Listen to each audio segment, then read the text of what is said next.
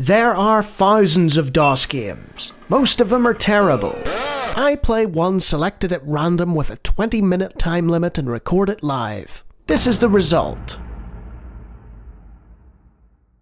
Welcome, ladies and gentlemen, to another random DOS game show. Birds, whales, and dolphins. And that's the title Bert's Whales and Dolphins.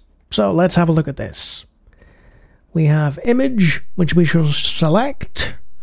Uh, let's have a little coastline. And we have to pick a whale or a dolphin. Look, you can pick a narwhal. Narwhal. Narwhal indeed. Voice on. And we can pick the size. Uh, let's do that. There we are. Let's color our narwhal. Let's... Ah, it's got the fill function. Right, so this is for very small children to learn how to color things using the computer. Oh boy, this is going to take a while. Come on, birds, dolphins, and whales. You can color it. Oh, no. Why did I pick so much blue? Slowly, slowly it creeps. I wonder if I turned up the cycles count, would it help? Nope. it doesn't make a difference. We're just going to have to patiently wait. Right. Uh, let's see. Let's pick a color for the sky. There we go. Let's going to paint the sky. And it does so line by line, and then it does the secondary stuff. Okay. I could color all the rest, but let's hit the story button. Write your story. Pete the purple narwhal was out striding on the land despite his flippers. Look at all this strangely white land.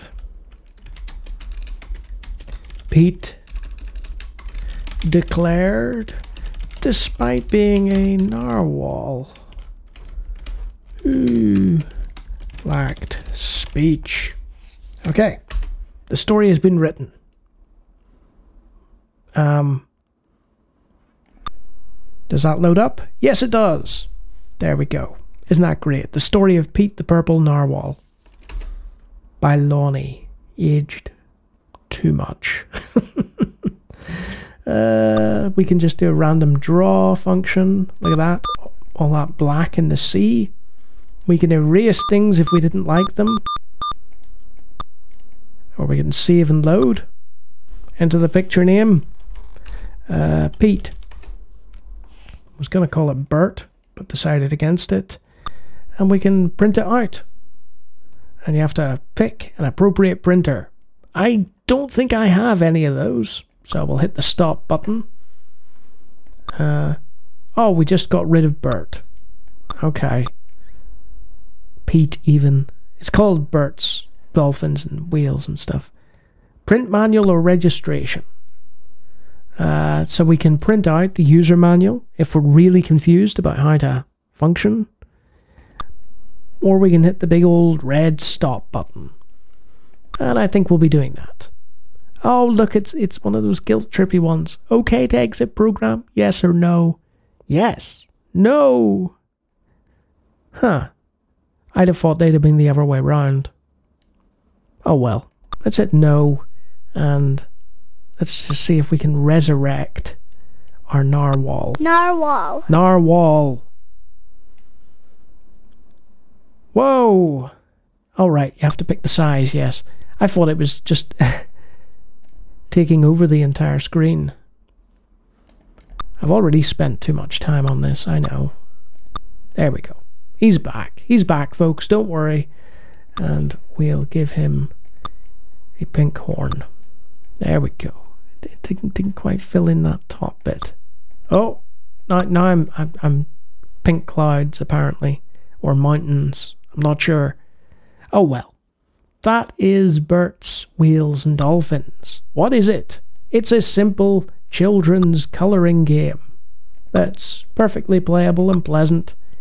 and is just designed to teach your child that color blindness is bad and they should feel ashamed of themselves.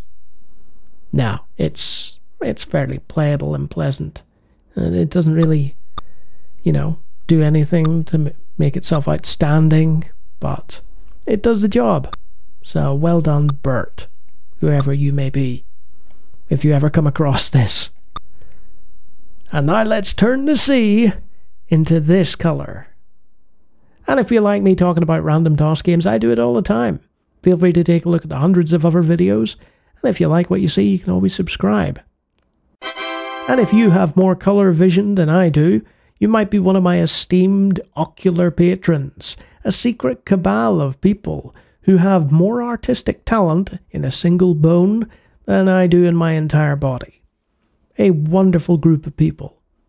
And you can see here, yes, this is coloured in round the lines, so you can do your usual sort of MS Paint segregation of the fill tool. So yeah, not much more to say about this one. Until next time.